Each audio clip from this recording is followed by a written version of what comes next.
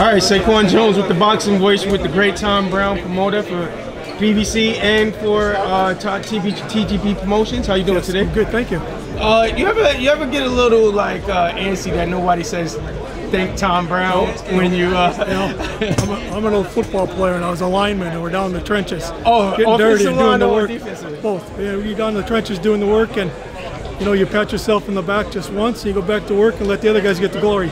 You know, it's uh, I've been following PBC for a long time. You've always been there, but now you're in the forefront. You know, being more vocal, being more right, in right. the presence. Well, uh, How's that transition been? For you, you know, I, I didn't have much of a choice because uh, I was a matchmaker for 30 plus years with mm-hmm. my brother-in-law Dan Goossen, and when he passed away, I kind of got uh, thrust out in front. You know, but I, like I said, I like I like doing the behind-the-scenes work and getting mm-hmm. fights made and and uh, working the sanctioning bodies and uh, everything else, the commissions, and, and just getting the show made. I, I see the, the, the mic skills are getting better. When you first started getting on the podium, how, how are you feeling? You know, getting a little better with the mic. again, I'd be happy. So, huh? If I didn't ever have to do it again, I'd be happy. But uh, you know, uh, like I said, my brother-in-law was such a showman, Dan mm-hmm. Goossen too. You know, yeah. so yeah, you get what you pay for.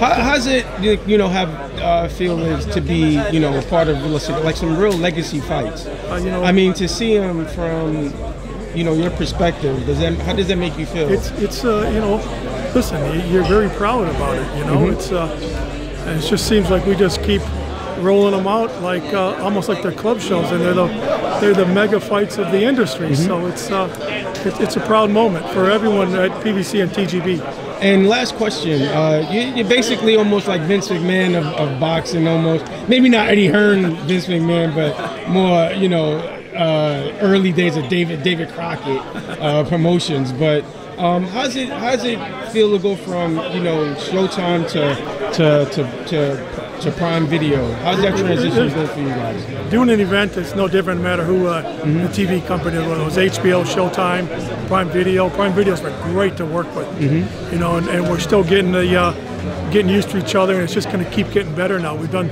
three amazing pay-per-view events, and mm-hmm. you know, this will be our fourth one, and uh, we got the kinks out. I think we're going to really see something special on September 14th. And when are going to announce the rest of the undercard fights? You have any idea when they're Check your phone. It's been announced. It's been announced? Yeah. All right, Saquon Jones with the Boxing Voice. Thank right. you, Tom. Thank Appreciate you. you. Have a good day. What up, YouTube family? Don't forget to hit that like button. Subscribe to the YouTube channel. Help us get to that million subscribers. We're on the road to a million.